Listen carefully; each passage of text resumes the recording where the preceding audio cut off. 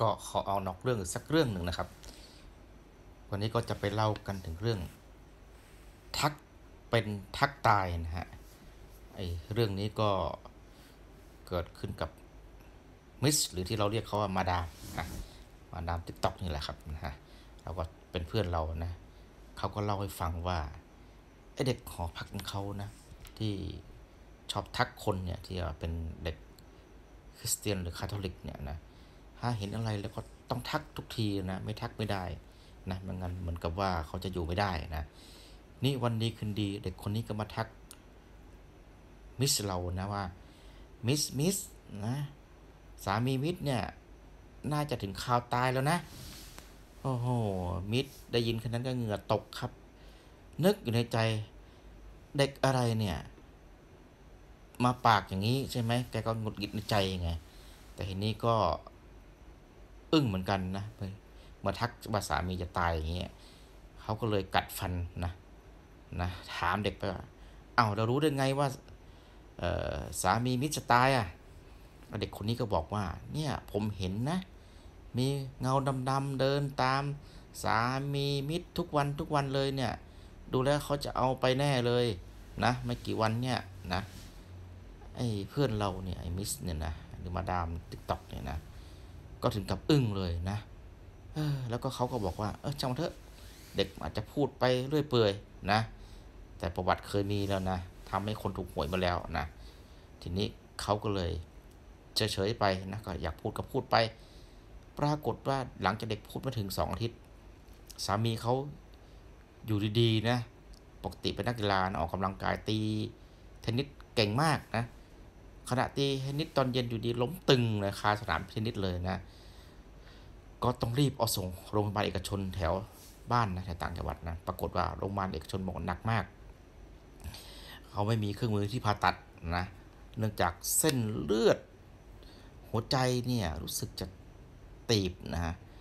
นะไปหลายเส้นนะเส้นสองเส้นเนี่ยนะฮะนะสองเส้นทีนี้ก็เลยจะเป็นต้องส่งเข้าโรงพยาบาล ชื่อดังแห่งหนึ่งที่ กรุงเทพซึ่งเป็นโรงพยาบาลรัฐนะทีนี้พอ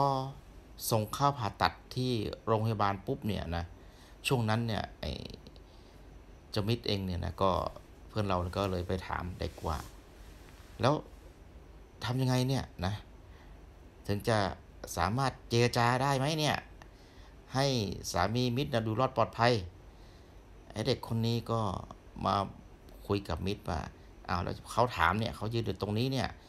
โอ้พอบอกก็ยืนอยู่ตรงนี้เนี่ย มิตรขนลุกเลยนะเขาถามมิสว่ามิสจะทำอะไรเขาไอ้เพื่อนเราก็บอกว่า เอาอย่างนี้แล้วกันนะ ถ้าสามีเขารอดตายเนี่ยนะเขาก็จะทำบุญใส่บาตรให้ทุกวันทุกวันทุกวันเลย เด็กคนนี้ก็ถามสวนขึ้นมาว่านี่เขาถามว่า มิตรจะทำให้เขาได้จริง ๆ เหรอพอมิตรเนี่ย แน่ใจเหรออะไรเงี้ยนะ เพื่อนเราก็คิดหนักโอ้จริง ๆ เขาเขาเป็นคนปกติเขาชอบตื่นสายไงขืนให้ไปทำบุญตักบาตรทุกวันทุกวันทุกวันเนี่ยคงเป็นไปไม่ได้หรอกอ่ามิตรเลยบอกเอางี้แล้วกันนะเดี๋ยวเขาจะทำบุญให้ตามกาลเวลา แล้วเขาจะทำบุญถวายลงศพให้ก่อนแล้วกันนะเดี๋ยวค่อยมาว่ากันเขารับได้ไหมเนี่ยเด็กคนที่บอกโอเคนะเขาจะรอดูมิตรว่าจะทำบุญถวายลงศพให้ ไอ้เพื่อนเราเนี่ยพอสามีไปอยู่ที่กรุงเทพแล้วก็รีบขับรถตามไป แล้วก็ด้วยความที่ว่ากลัวสามีจะตายนะ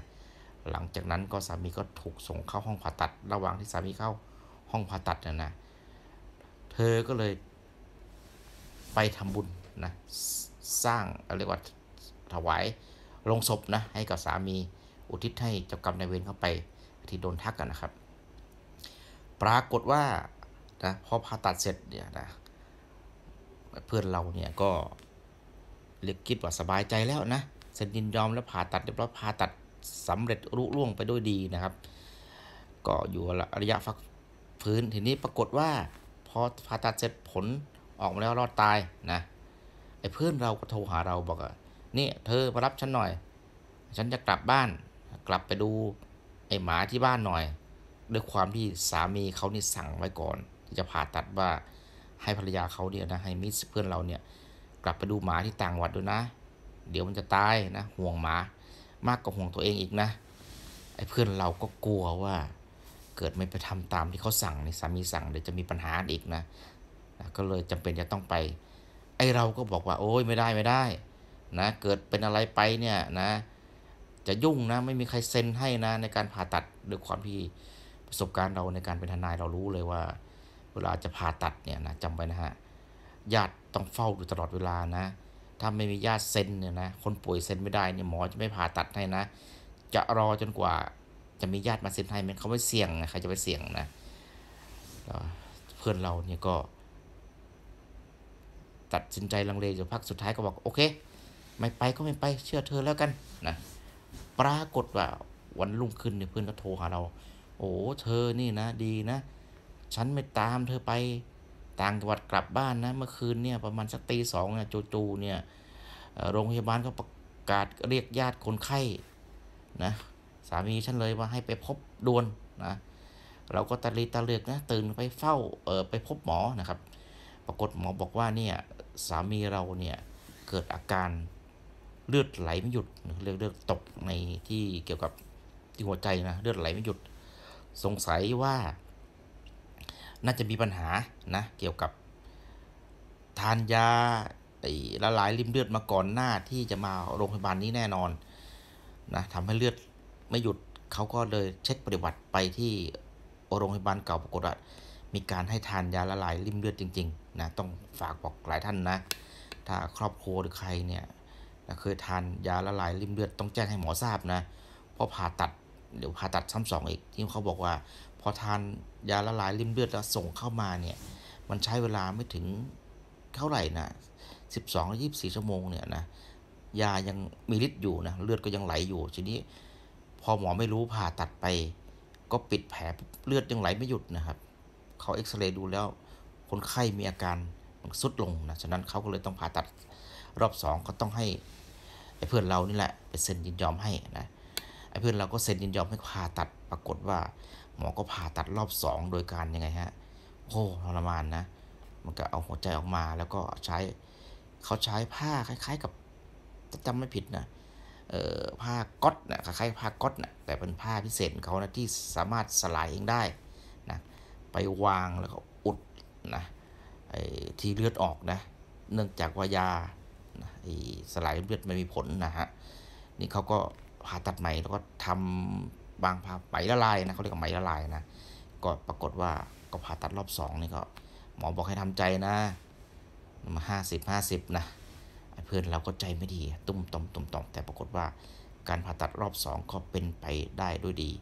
แล้วก็สามีก็รอดตายมาทุกวันนี้นะเธอก็เล่าให้ฟังว่าโอ้โหเด็กคนนี้มัน